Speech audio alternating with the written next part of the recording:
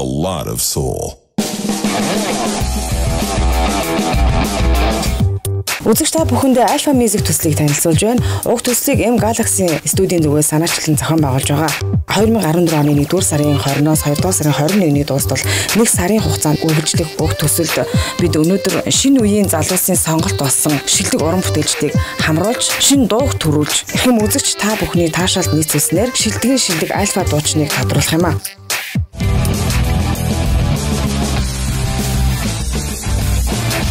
M Galaxy студийн тухайд анх 2003 оны 9 сарын 1-ний ТV телевизийн анхны эфирээр Music-с нэвтрүүлгийг цацаж эхэлсэн цагаас хойш 10 жилийн турш тасралтгүй хөгжмийн нэвтрүүлгийг үзэгчдийн хүртэл болгосоор ирсэн төдийгүй 10 жилийн ойн хүрээндээ Монголын рок попын шин залуу уран бүтээлчдэд дэмжлэг үзүүлж тэдэнд болон үзэгчдэд бодиттой үр дүнг үзүүлэх зорилгоор Alpha Music төслийг хэрэгжүүлж эхэлсэн.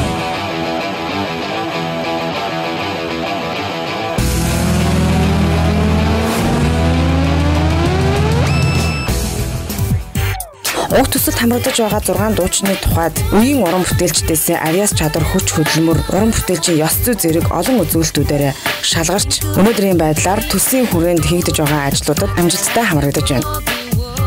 Тухайлбал төслийн хүрээнд шинэ дуу бүтээх ёстой. Тэгвэл дуучид маань өнгөрсөн 7 хоногт White Arch студид дээр өөрсдийн шинэ уран бүтээлийн бичлэгэндээ орж клипжүүлж үзэгчдийн хүртэл болгож байгаа. YouTube болон Facebook-ийн хандлалаар Alpha дуучдынхаа хамгийн шилдгийг тодруулж бид 3 дугаар сарын 29-нд 30-нд Хонконгод болох Bruno Mars-ын тоглолтыг үзүүлэхээс гадна Хонконгоор сонирхолтой аяллыг зохион байгуулж эрхэм үзэгч та бүхэнд эргүүлэн сонирхолтой нэвтрүүлэг бэлтгэн хүргэнэ. Мөн 2 дугаар байранд орсон дуучид бүрэн хэмжээний клип бүтээж өгнө. Түүнчлэн хамрагдаж байгаа 6 дуучны тухайд бүгдийг нь тэгш дэмжиж улам илүү амжилттай уран бүтээлүүдийг гаргах шинэ гарцыг нээж өгөх зорилготой юм.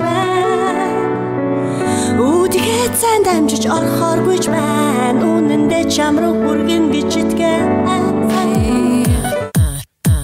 Төслийн зөвлөхөөр продюсер Ангерман ажиллаж байна. Шинэ үеийн залуусын сонголт болсон шилдэг дуучдыг үзэгчд төлөвийн хэвлэл мэдээллийг бүгд хамтаар дэмжиж Монголын залуус дэлхийн тавцанд өөрсдийн авиас бэлгээрээ гоц гоод уран бүтээл туурах тэр цагийн төлөө төсөлд хамрагдахыг урьж байна. Ингээд үзэгч та бүхэндээ төсөлд хамраадаж байгаа дуучдынхаа танилцуулгыг хүргэе.